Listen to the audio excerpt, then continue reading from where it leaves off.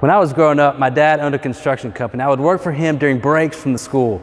And while sometimes I got to see the blueprints of how the building was going to look when it got done, I still had a hard time envisioning it. Today, I'm standing in front of the stage for our church's sanctuary. As you can tell, it isn't quite finished. And while I've seen the plans for the completion, I still am having a hard time envisioning exactly how it's going to look. And as the youth pastor, there were some suggestions I had for the stage design that I thought would be pretty sweet. A fog machine, some cool lights, a rotating drum platform that raised up, you know, but I'm afraid we're not going to get any of those features.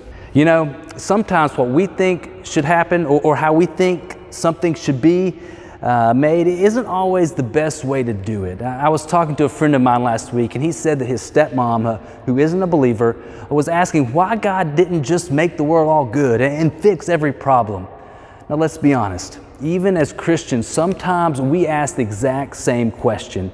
I was reminded of these verses in Isaiah. Isaiah 55, 8 through 9 says this For my thoughts are not your thoughts, neither are my ways your ways, declares the Lord. As the heavens are higher than the earth, so are my ways higher than your ways, and my thoughts higher than your thoughts. So often we think we, we know what is best, or, or we think we know how God should do something. Or maybe we're in the middle of the construction, we can't see what the final outcome is going to be. We think things should be different because it doesn't look right at the moment. I came across this quote from Dallas Willard. He's an American philosopher the other day online, and it sums up pretty much where we're at. He says this when people vilify God for failing to make a holy, good world inhabited by holy, good people, I fear that they are not always concerned with moral goodness. Many times they only mean that God should have made a world in which they would always get what they want, and one that would be inhabited by people of the sort that they like. We humans never get what we want, and uh, we want it so badly.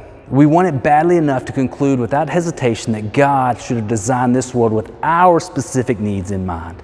You see, if we are not careful, we will allow our pride and our own selfish desires to supersede the one who created us all.